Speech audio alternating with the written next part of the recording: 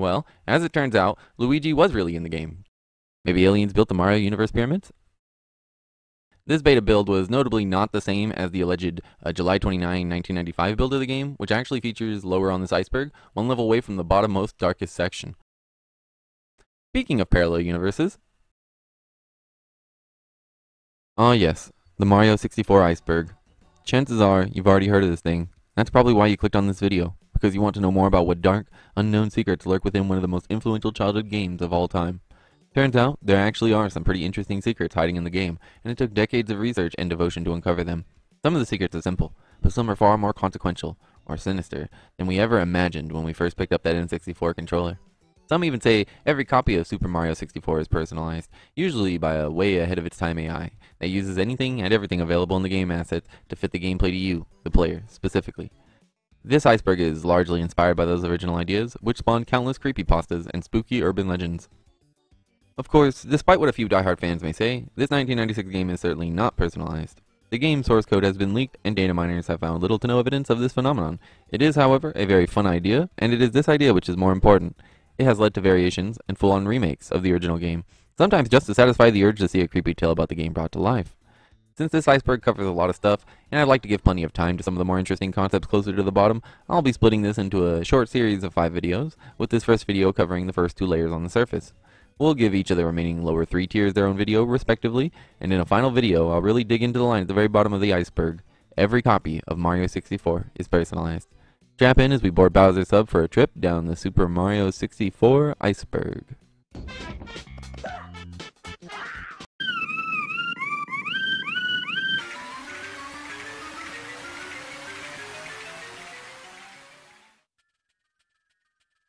L is Real 2401 is one of Mario's most infamous mysteries, coming from the plaque on the star statue in the garden behind the castle. On this plaque is some very blurry text, courtesy of the graphical limitations of game development at the time, that many presumed to read L is Real, followed by the number 2401, and some dedicated Nintendo fans spent years deciphering its cryptic meaning, always coming to the conclusion that Luigi had to be in the game somewhere, despite never making an appearance. Heck, even Yoshi makes an appearance at Topic Castle after collecting all 120 stars. So where was the Mario franchise's second most popular character? Well, as it turns out, Luigi was really in the game, just not accessible. On July 25, 2020, which was 24 years and one month after Mario 64's initial release in Japan, a leak containing the source code assets for the game revealed that a model for Luigi did indeed exist, but was never actually implemented in the final cut.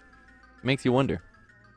Space World 95 Beta is another name for the Shoshinkai Beta, a build of Super Mario 64 that was debuted at Space World, then called Shoshinkai, in late November of 1995.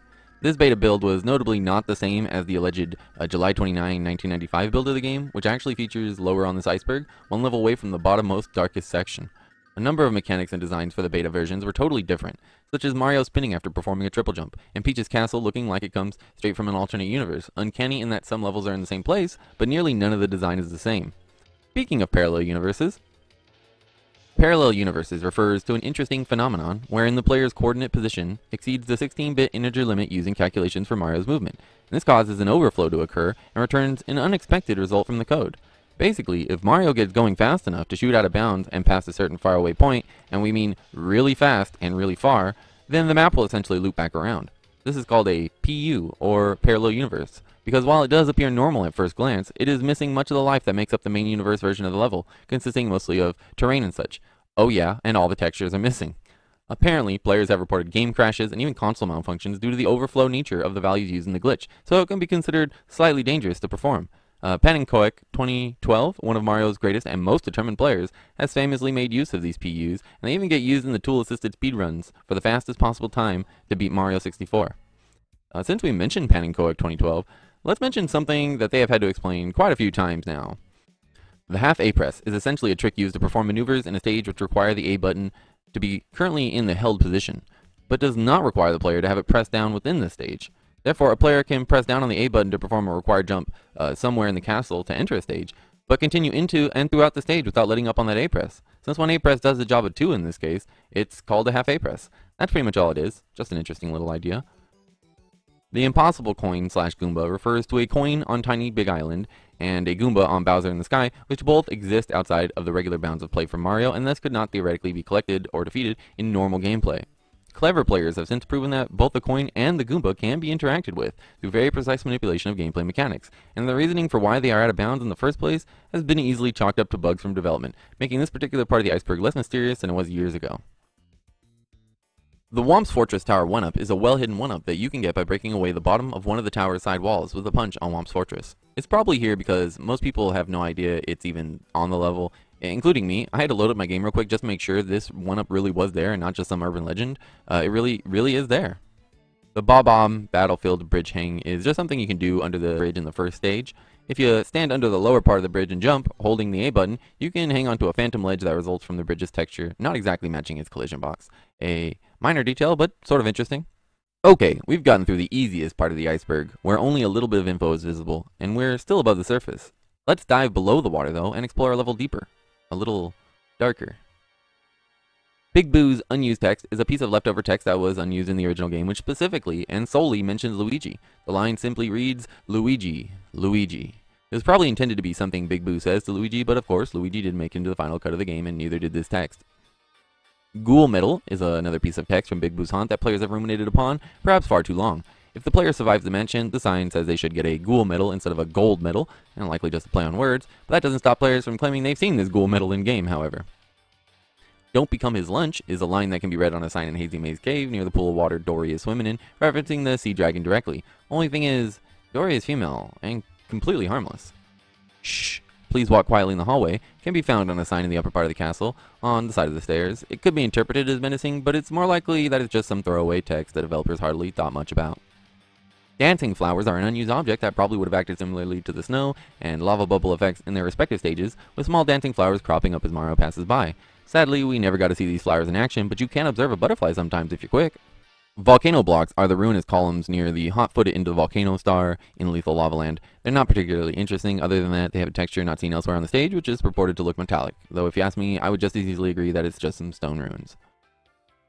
Blargg is an unused reddish dinosaur enemy in Mario 64, inspired by their counterpart that appeared in Super Mario World.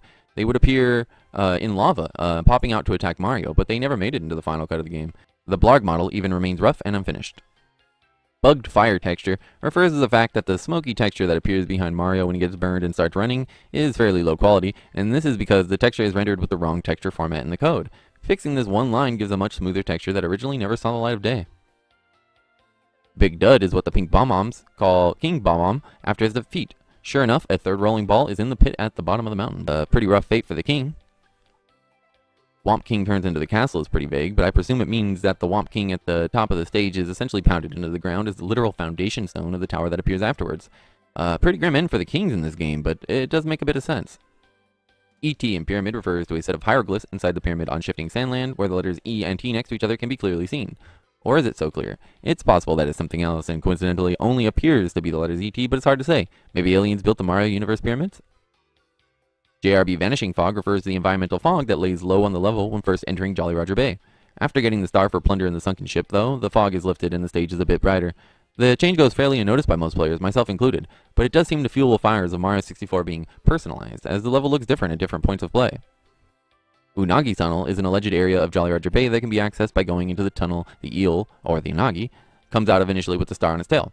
It's supposed to be a creepy underwater level that exists in personalized copies of the game, but let's be honest, it probably just cropped up from how it seems like you should be able to enter the tunnel that the Unagi exits, but you just can't. Secret Aquarium is just the name of a level that hosts one of the castle's secret stars accessible through a hole near the ceiling in the room with the Jolly Roger Bay painting.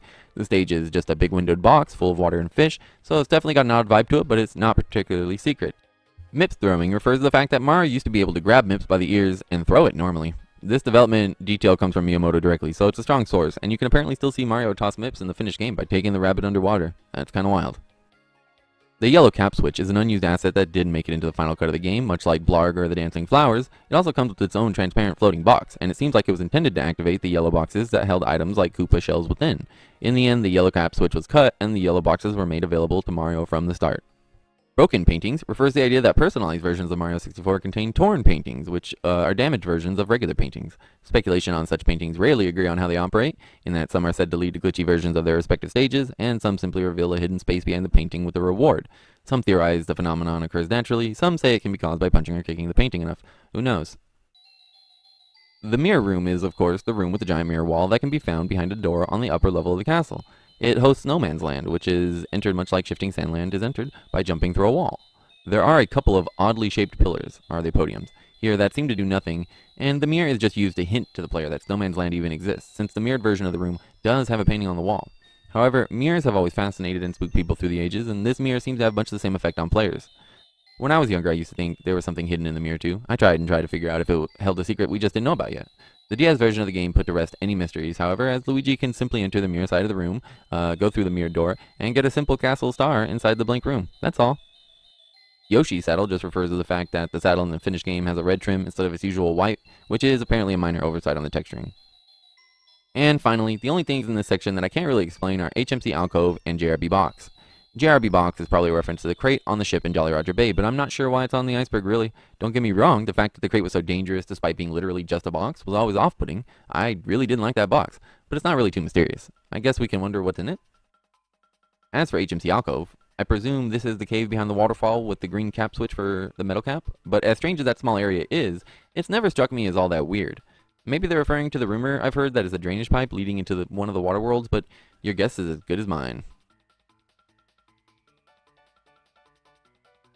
Well, that covers the first two layers of the Super Mario 64 iceberg, and already it has been full of strange and mysterious findings. Before we go, however, let's take a sneak peek at something interesting from the next layer below. Mario 64 is Freemason Initiation. Now, that line seems like a bit of a stretch. Even if Freemasons did have anything to do with the development of Mario 64, it was certainly not likely that it was with the intent to initiate members into their group. However, the conspiracy still lingers, spurred on by connections between Freemason imagery and imagery within the game. For instance, the checkerboard floor with the large sun depicted in the middle is a common piece of Freemason imagery, and the first floor of Peach's castle has this design. Chances are, however, this was just thought of as a nice design, and the Freemasons were known for designing some nice buildings after all. The coins in the game are simply circles with five-pointed star inside and, oh, oops, accidentally implemented pentacles into Mario.